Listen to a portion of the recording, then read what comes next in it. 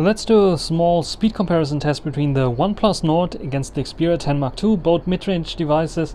Uh, the OnePlus is a bit, OnePlus is a bit uh, more expensive than the Xperia 10 Mark II, but mostly in the same price range. So we start by uh, trying out the fingerprint readers and see what the difference is here. We have an in-display fingerprint reader and we have a side-mounted fingerprint reader here. And the in-display display one only works if the display is on. If I press here now, nothing happens, so I have it have to have it on. One, two, three. This time it didn't work on the OnePlus. Let's try it again. One, two, three and you can see the OnePlus Nord was a tiny bit quicker. And this is the overall notion that I get. It is quicker in unlocking um, the phone. Though I think both vibrate at the same time but the display turn on time is a lot quicker on the OnePlus Nord. Yeah. So the OnePlus Nord is a bit quicker when it comes to unlocking the device. Let's go to the uh, homepage and let's check out some applications that we want to start. First we want to start the free and open source um, F-Droid store 123 and you can see the OnePlus Nord quite a bit faster than the Xperia 10 Mark II so I think the Xperia 10 Mark II was um, loading the icons from the web which uh, took it a bit longer. Then the next thing is the Play Store, one, two, three. And here, or oh, on par, I would say, slightly bit edge on the OnePlus Nord. Very, very slightly only. Now some other applications in the system category like AIDA 64, 1, 2, 3. And you can see a lot faster on the OnePlus Nord in this case. Another application like Speed Test, 1, 2, 3 and you see it takes a bit longer to load on both devices but this device the OnePlus Nord on the left is faster. Then we have another application that we can start GPS test one two three and quicker on the OnePlus Nord.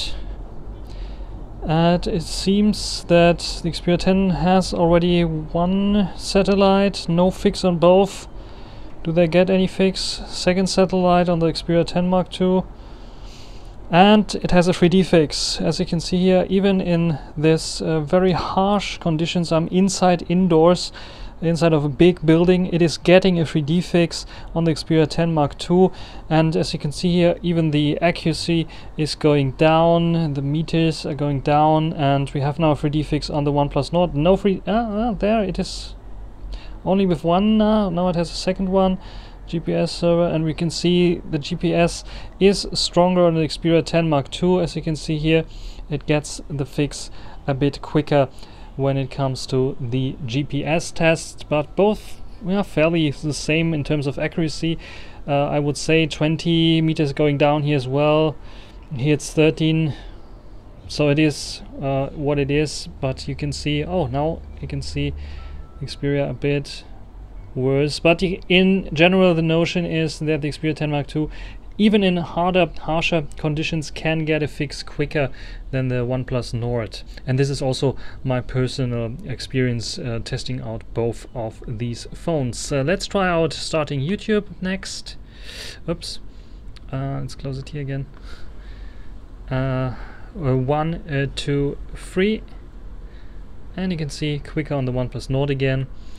No surprise, Snapdragon 6, uh, 765, Snapdragon 665 on the Xperia 10 Mark II, so there should be a difference. This is basically the flagship mid-range chip, and this is basically the entry level um, mid-range chip, so it should be, or the middle of the mid-range chips, uh, because there I think uh, also some uh, yeah not so fast chips available um, as well. So let's try out another application.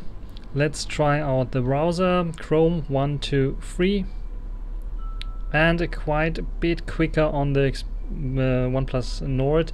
Xperia is um, catching up a bit. It's not so far behind. This shows also that the Xperia has great optimization in terms of software, but also Android in general is also running very well on Snapdragon 665 here. And everyday usage, you won't notice much of a difference. If you have them side by side, you will notice the difference. And you can uh, write me in the comments if you see also an animation difference. This is running 90 hertz, this is running 60 hertz. Of course, this recording is done in 30 frames per second, uh, but I have to say uh, you can notice the fluidity of the OnePlus Nord um, when comparing, but when using the phones, the 90 hertz or 60 hertz, there's not much of it. If it would be the same phone that I can change to 60 hertz and 90 hertz, then I, then I notice the difference. But in terms of uh, running fluidly, both of them run pretty fast and fluid, so there's uh, not much of a difference in terms of fluidity of both devices and uh, for everyday usage there is no big issue when it comes to this. So we want to go in and do a little bit more by opening up KineMaster, a video editor for Android, which allows us to edit some videos. And we want to do some video editing and uh, rendering the video out to see which of those both devices is quicker because video editing and uh, photo processing, those are the tasks where you can see the difference between a Snapdragon 665 versus a 765 processor uh, in everyday usage if you do such things on your phone. So first of all, let's start KineMaster. One, two, three. And you can see, ooh, the Xperia was a bit quicker loading up and here it is loading some ads still I think can I go back? Now it is loading as well. But uh, you can see it is a bit slower on the OnePlus Nord, which is interesting. I was not expecting this. Let's try to close those apps and try it again. That would be interesting if this is really the case. Uh, one, two, three. And you can see neck to neck and here it is yeah loading an ad here now as well. As you can see now the OnePlus Nord was a bit quicker than the Xperia 10 Mark II so um, yeah in general not much of a difference. You can see some lags here when I close the app. So it is uh, clearly an indicator for the slower processor and we want to I will add a project here to my OnePlus Nord and to my Xperia 10 Mark II and we want to export it and then see which of those uh, two is quicker in exporting the same video clip. So now you can see when I started editing or I wanted to import the video, both devices are telling me that they don't support uh, UHD video, so I have to make a, a, 1080p copy of the video and I will do it here on both uh, to import it and we can see uh, which one is uh, quicker and uh, you can see already that the OnePlus Nord is a bit quicker than the uh, Xperia 10 Mark II when it comes to converting the 4K video clip to 1080p. I'm not sure if this is a limitation of both devices and the chipsets or it's a limitation of the free version of KineMaster. You can write it in the comment sections if you know it for sure. But here you can see it's twice as fast on the OnePlus Nord when it comes to converting videos and I would say exporting the video will be the same but let me edit this video uh, in a minute both videos and then I will do the export and we can see if this is really the case. So now those converted 1080p videos are edited. I just added a text layer uh, which looks like this. Uh, test here and test here with a small t. Uh, that's the only difference.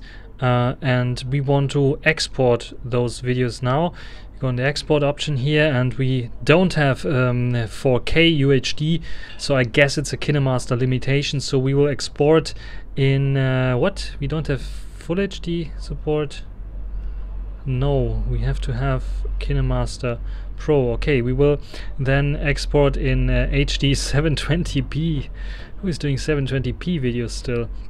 Uh, and do the export then. Anyway we leave the default rate which is like uh, the bitrate is 3.78 megabits per second.